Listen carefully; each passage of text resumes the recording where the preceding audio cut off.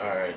Just something I wrote some time ago. I had found it in my phone, so I figured I'll just read it. Uh, I woke up free and clear, or so I thought.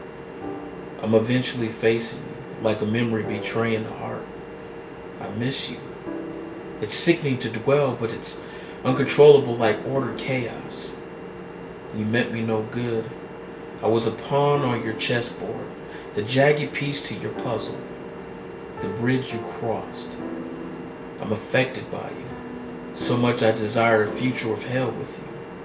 My body aches of tormented lust and fantasized love. I do not want to figure you out. I know enough. I know better now. Yet, I miss you like a fiend misses that leap off the cliff. Death by you felt so welcoming. I almost died, but for once I liked the cold embrace it gave me. I never touched you, but I felt you. I never kissed you, but I tasted you. I never fucked you, but your when our but our eyes made love whenever they met. Undeniable, undeserving, unrestricted a very forbidden fruit that demise the human spirit.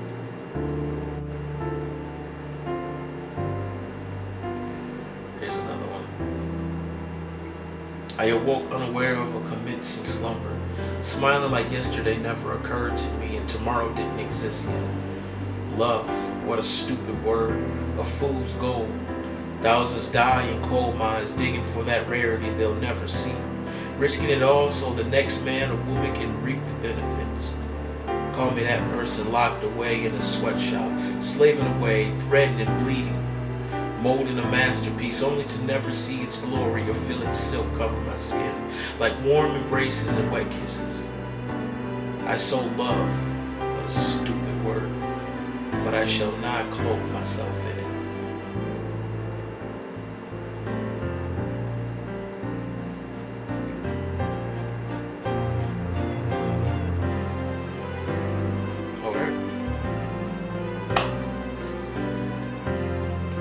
I was about to do that, and, and then I just second guessed myself, and